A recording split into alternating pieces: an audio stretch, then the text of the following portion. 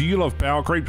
Do you love the discussion about power creep and balance at top tier jets? Well, this is going to be the video for you today, right now, because I'm going to be discussing this thing, the Saab 105 OE at length, and a whole host of other issues presented by other aircraft introduced at later times, which makes older content harder for, I guess, regular people to consume, or at least to play.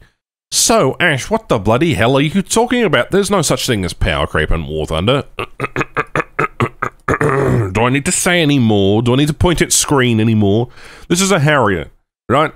A Harrier is fantastic aircraft, number one, but only because of a little thing called short range air to air missiles, right? The SRAAM is a bloody fantastic system, a little too broken in my opinion.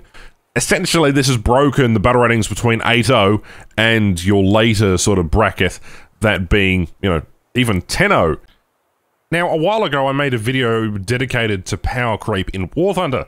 In fact, the Saab 105 OE being a fantastic addition to War Thunder isn't necessarily the concern here. It's the fact that this thing's a premium, and the 105 doesn't necessarily get the better ordnance. It's usually the other way around. It's usually the worse vehicle gets put in the premium line, and then the better vehicle gets put in tree. If there weren't enough complaints about the SK60B, well, you can have an upgraded version. The Saab 105 basically rectifies a whole host of different issues with thrust, output, avionics, uh, fuel systems, etc., etc., and it puts basically the same missiles, the RB-24Js, as the Draken on this particular system. And I thought, oh, that's okay, cool. Can I equip anything else? Nope, you can only have the RB, uh, RB-24Js at least equipped.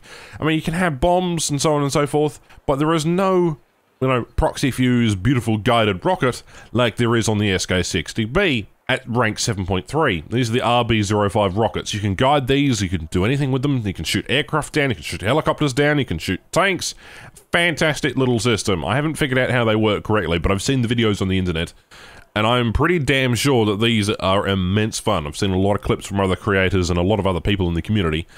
And again, this is 7.3 rank 5, and this people were using this to counter another aircraft, which basically killed off another type of aircraft. Now, back in the day, this thing was introduced, the F-89D, rank 5 battle rating 7.7. Now, you may notice a, a, bit of a pattern here. There's always a, a, vehicle to leapfrog another vehicle to leapfrog another vehicle, and the, the, the pattern goes on. Essentially, this thing was introduced because Gaijin wanted to make a bit of coin. Rightly so, right? They are free to play, they can charge what they want. This thing killed off something called 262s. Now, 262s were out in force because, well, they, they were really a fantastic jet at the time. And this thing at 6.7 doesn't face the any other the other issues with the other 262s at 7.7, 8.0, and 7.0 that this thing faces. Let alone the fact that the ME163 is 8.7, right? Um, it's, it's, it's a really sort of bizarre scenario where you have World War II tech still fighting, and this has been the argument for years. World War II tech fighting Cold War stuff, right? And what what's more evident? The fact that the ME163B0 with four um, MG151s, right, is the same battle rating as the G91R3, which can actually have some decent, you know, stuff. It can get Nords. But again, I don't know. It's, it's sort of a bit of a weird spot. Britain doesn't really have much in terms of overpowered things at the 8073 lineup. The Seahawk was a fantastic aircraft, well, until recently when they accidentally bumped a zero up onto the thrust on this thing. It became an absolute monster for about three or four days.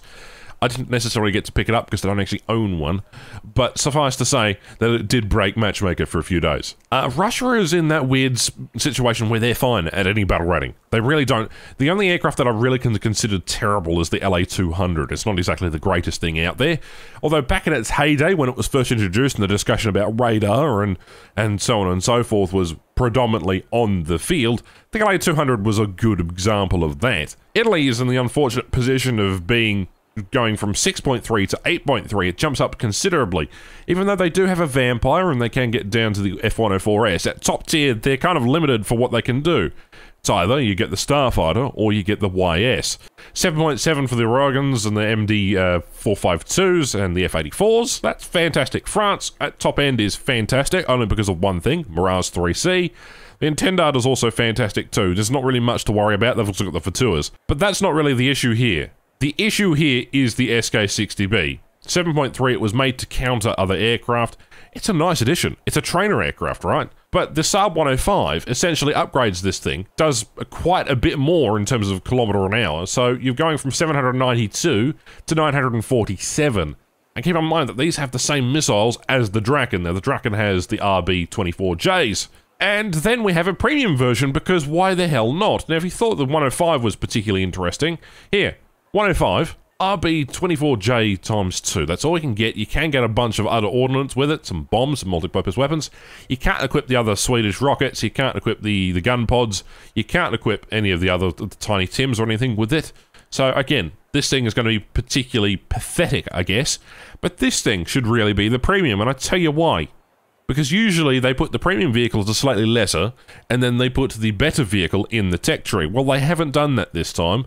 This is the Saab 105 OE, and as far as I know, this thing is essentially just a broken vehicle, right? This is blatant pay to win in War Thunder. There is no doubt about that right here and right now. It doesn't really matter because you can get the same RB-05As as on the SK-60B, the fantastic missile, uh, the guided rocket, sorry, that can kill tanks, helicopters, planes, and anything you basically fire it at. And it can get the RB-24Js, right? But you can also equip the gun pods if you're really, really sort of special, okay? Now, I probably will be taking this load out if I actually get this aircraft. But let's just say that at 8.0, rank 5, 30mm cannons, and two missiles that are the same as the, the J-35 at 8.0 rather than 10.7, I understand it's like a subsonic aircraft, and I understand it's probably going to have its limitations, but holy shit, this puts in a perspective. Right, power creep is, you, you can't tell me power creep is not a thing when you have stuff like the F-89, the Harrier, you know, stuff like that. And now you have this? Cousin, what are you smoking? You know, it's a fantastic patch to end the year. I know this is the dev server, but seriously, either swap them around or don't really do anything. Like, it doesn't make sense to lock this behind a paywall because it is objectively better than any other aircraft. It's essentially better than the J29D. That is what I'm trying to say. It's a, it's a lower battle rating, right? How? How? How? How? And we're not even going to show any gameplay today. Uh, uh, uh, why? You're making you're making jets a worse place and a worse.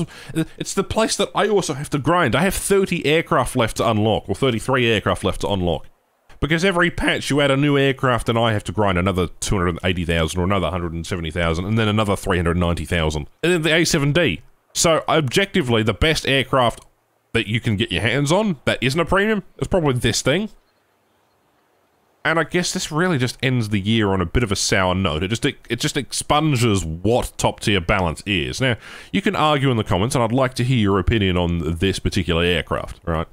We have yet to see it in action. In fact, I'm probably going to go do a quick couple of games and see if I can get some gameplay for you in a separate video, just to see if this thing's actually effective. But, again, it's only really a first look at the aircraft. We won't know until the thing hits the live server what is going to happen with this aircraft, right? Gosh, for the love of God think about something before you implement it into War Thunder. Oh wait, you hadn't. You implemented the Harrier for one reason only, and I know what that reason was. You're, you're just ruining top tier matches. When was the last time you saw a 262? When was the last time you saw a Meteor? People skip the jets and go for F4s. Why? Because that is the best thing in the bloody game. People skip everything else for MiG-21s. You know? And 104s. This is only enabling that to happen even quicker. Are you actually planning on implementing rank 7 aircraft? Rank 8 aircraft, maybe? Because at this rate, you may as well start decompressing even further. Your 10.7 isn't high enough, you haven't satisfied enough people. And I really, that's all I have to say on this thing. All right, we're going to cover this in more depth in a gameplay video later. Uh, but we'll probably take it out and uh, have some B-roll to put over this video because I've been ranting for too long already. Anyway, this is the dev server. Things are subject to change. I hope they will change. They probably won't because the patch is probably going to come out next week. My name is Ash. Thank you very much for watching. Like, comment, subscribe, all that bullshit. And I'll catch you in the next one. Bye-bye.